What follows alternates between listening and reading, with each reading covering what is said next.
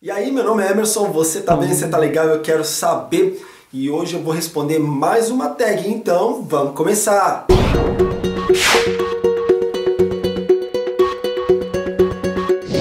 Ok, essa é mais uma tag criada pela minha amiga Cacau.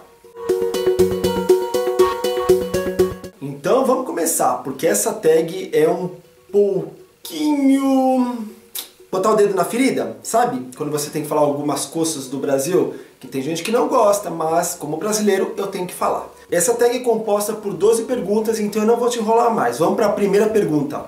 Você se manifesta a favor do povo brasileiro? Claro que sim. Sempre vou me manifestar a favor do povo brasileiro que tem boas intenções. Porque vamos falar a verdade, nessa balança tem os dois lados. Tem o povo que quer ordem, que quer progresso, mas tem um povo que quer exatamente o contrário. Então, como a grande maioria do povo quer algo melhor para o nosso Brasil e está lutando por isso, pelo menos eu acho que está, né? Claro que eu sou a favor desse povo sim. Se bem que eu acho que o gigante está desacordado. Mas para responder a pergunta, sou a favor sim. Pergunta número 2. Você joga lixo na rua? Não, não jogo lixo na rua. Não me lembro de ter feito isso. Aliás, eu me lembro desde pequeno, eu sempre fui educado pelos meus pais para tomar muito cuidado com isso. Sabe por quê? A rua nada mais é do que extensão da nossa casa. Então a rua é a minha casa. Eu não posso admitir passear por um lugar, andar por um lugar e ver aquela sujeira, aquela nojeira. Eu sempre coloco dentro de um bolso, fico segurando. Se eu não encontro um saco de lixo, se eu não encontro uma lixeira, não tem jeito. Eu vou ficar com aquele lixo até encontrar um lugar para me livrar disso. Mas na rua, de jeito nenhum. Se bem que dá para abrir um parênteses aqui a respeito disso. Eu me lembro que uma vez aqui na Austrália, eu estava comendo uma maçã e quando eu acabei, eu fiquei com aquele restinho de maçã e eu não tinha lugar para jogar. E eu me lembro que um monte de gente estava me falando: joga no jardim, põe no jardim, porque os animais comem isso. Eu não sei se isso é correto para falar a verdade, mas eu não consegui. Eu fiquei segurando até encontrar um saquinho de lixo para jogar essa porcaria fora.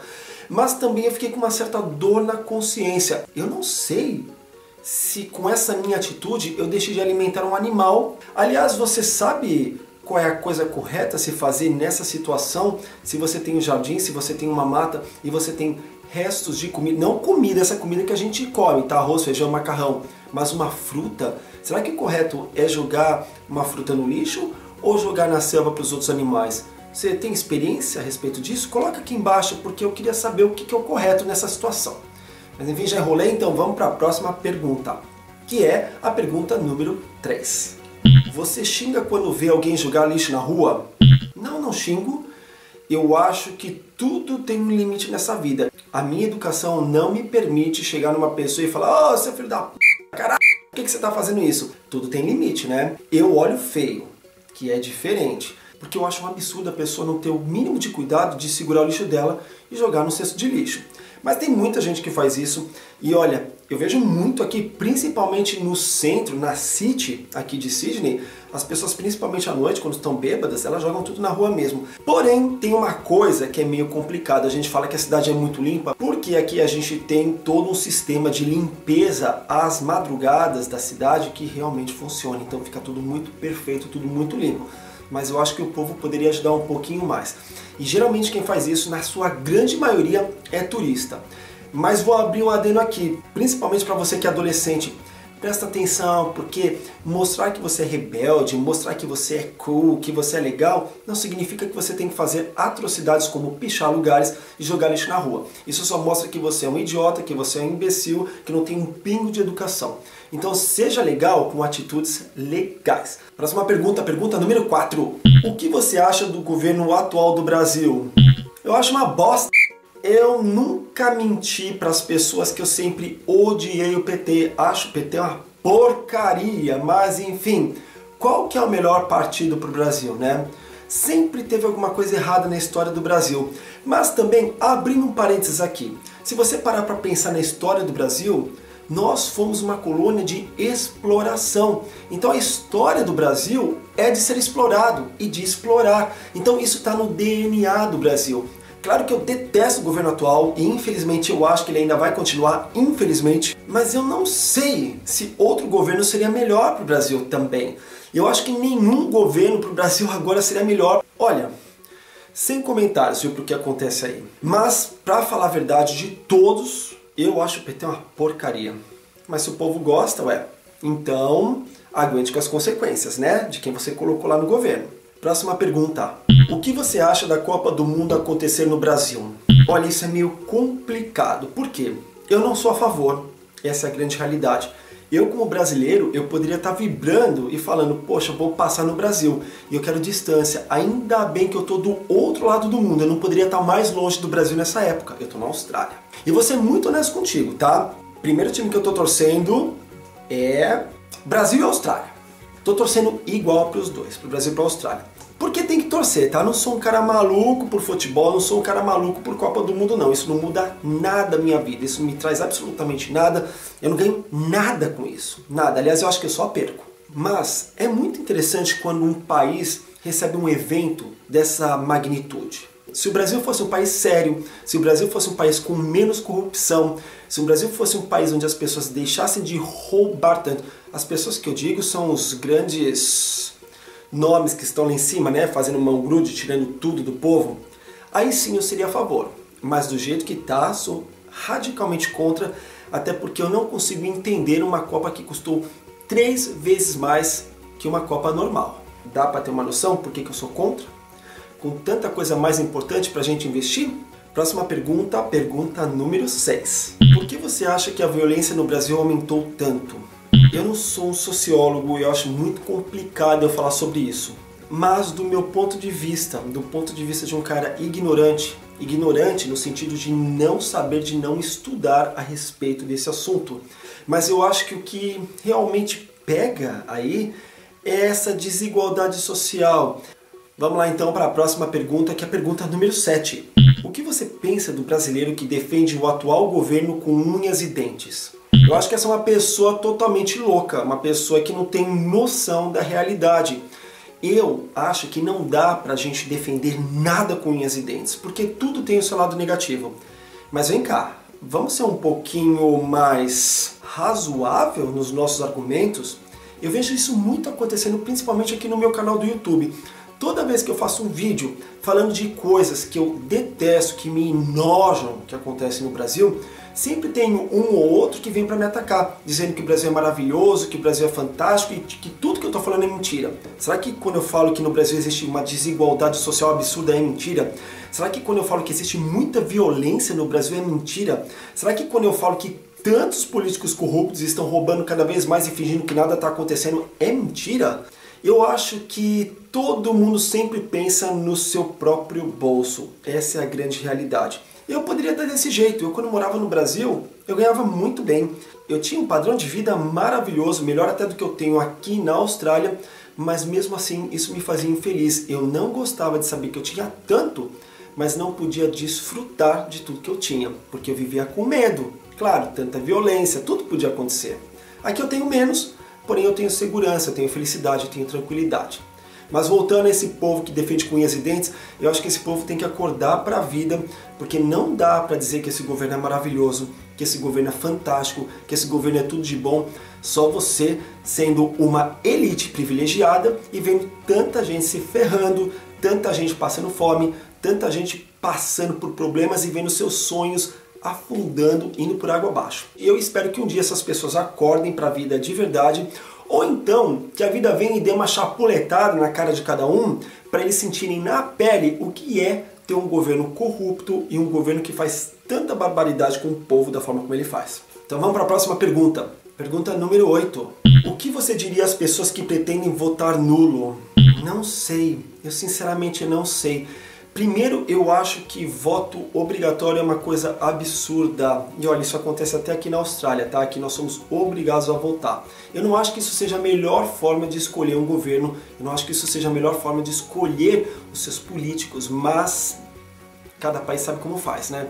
Eu acho que as pessoas deveriam ter a chance de escolher se querem votar ou não. Porque eu vejo que na grande maioria das pessoas que vão votar, elas não sabem para quem elas estão votando, elas não têm ideia. Tá na hora sim da gente entender que o voto é uma arma poderosíssima. Coloque lá quem realmente tem um projeto interessante e cobre dessa pessoa esse projeto. Faça um estudo da vida política dessa pessoa. Horas bolas, se a gente já teve até um presidente que sofreu impeachment, que foi provado que era, não vou falar o que ele era, e hoje ele voltou como senador, que povo é esse que vota nesse tipo de gente? Então, já que a gente tem esse direito de votar, por que não escolher direito quem vai te representar? Não custa nada você fazer uma pesquisa, você entender quem é essa pessoa. Tem tanta gente que faz coisas tão absurdas na política brasileira e eu vejo que as pessoas não se dão ao trabalho de escrever o nome desse cidadão no caderninho para saber que não pode votar da próxima vez. Eu sei que isso dá trabalho, mas se você quer um país melhor, você tem que tomar certas atitudes. E certas atitudes são sempre tomar nota das pessoas que fazem barbaridades com o seu país e sempre se preocupar com a pessoa que você vai estar colocando lá para te representar, porque se você não presta atenção, essa pessoa vai te fuder. Agora eu vejo muita gente falando que vota nulo porque não tem opção. E aí eu até entendo, para falar a verdade, porque para votar no pior e no menos pior, fica difícil, né? Eu penso que se ao mesmo tempo todo mundo votasse nulo ou branco, isso mostraria que estamos insatisfeitos. Mas eu não sei se isso é a melhor forma de radicalizar, se isso é a melhor forma de mostrar uma certa insatisfação. Então eu ainda não tenho uma opinião formada a votar nulo ou branco. Mas eu acho que votar é uma das coisas mais importantes e precisa ser feita de forma consciente, tá? Para a próxima pergunta, pergunta número 9. Quando você pretende ir ao Brasil? Eu pretendo voltar sempre, porque o Brasil é minha pátria. Eu amo meu país, apesar de todos os absurdos que acontecem lá. Eu tento mudar da forma que eu posso, mas eu sozinho não consigo fazer nada. Só que eu fazendo minha parte, você fazendo a sua parte e os nossos amigos fazendo alguma coisa, quem sabe um dia a gente consegue mudar um pouquinho esse país, né? Mas enfim, pretendo voltar o tempo todo porque eu tenho familiares e amigos que eu amo muito lá. E o Brasil, querendo ou não, é a minha casa. É a minha segunda casa, mas é. Vamos lá então, pergunta número 10. Quais são os seus critérios para votar em alguém? Acho que eu já respondi, né? Saber quem você está votando. Eu sempre faço um levantamento da vida dessa pessoa. Então, se eu tenho um candidato que eu gosto, eu quero saber se o que ele fez foi realmente aproveitável, se ele prometeu e não cumpriu. Agora, se é uma pessoa nova que nunca tenha feito nada no âmbito da política, eu tento entender o que ele já fez na sua área. Então eu tento entender se ele foi um bom profissional, eu tento entender qual é o histórico de vida daquela pessoa. Eu acho que isso é a melhor forma de escolher novos candidatos para a gente revitalizar, para a gente colocar sangue novo, né? Mas eu não consigo entender quando a pessoa vota em alguém pelo simples fato de ser comediante, de ser artista ou de ser qualquer coisa. Não estou dizendo que essas pessoas não sirvam, não é isso. Mas você não pode votar no cantor só porque você simplesmente gosta do tom de voz dessa pessoa. Aí tem alguma coisa errada, aí você é uma besta humana. Vamos para a próxima pergunta. Pergunta número 11. Por que, que você acha que o governo não se empenha em acabar ou diminuir com a extrema violência que assombra o Brasil? Eu acho que é bom para algumas pessoas, só pode ser porque não faz sentido tanta violência, tanta desigualdade, tanta coisa absurda acontecendo e a gente não tem um pulso forte, um pulso firme que acabe com isso. Tem muita coisa por debaixo desse pano, tá? Que eu também não entendo, mas eu acho que vale a pena para alguns governantes fazer com que o nosso povo seja alienado e sem noção. Quando você tem muita desigualdade, como eu já falei, claro que você vai ter violência. E quando você continua acreditando nessa famosa lei do jeitinho brasileiro que tudo pode, claro que você vai ter violência. Então tem tantos fatores que fazem com que as pessoas não melhorem e não façam alguma coisa para acabar com a violência que fica impraticável e fica impossível. E é muito fácil para o governo manter a situação do jeito que está. Por quê? Porque com uma população que não pensa, eles continuam no poder continuando no poder, eles continuam ganhando cada vez mais dinheiro e continuam extorquindo cada vez mais e tirando mais o seu dinheiro. Então, porque é cômodo para eles. Eu acho que essa é a melhor resposta. É cômodo manter sim uma população alienada. E o resto que se exploda. Enquanto eles têm dinheiro, dane-se o resto. Ok, então vamos para a última pergunta, que é a pergunta número 12. Mande um recado para o governo brasileiro.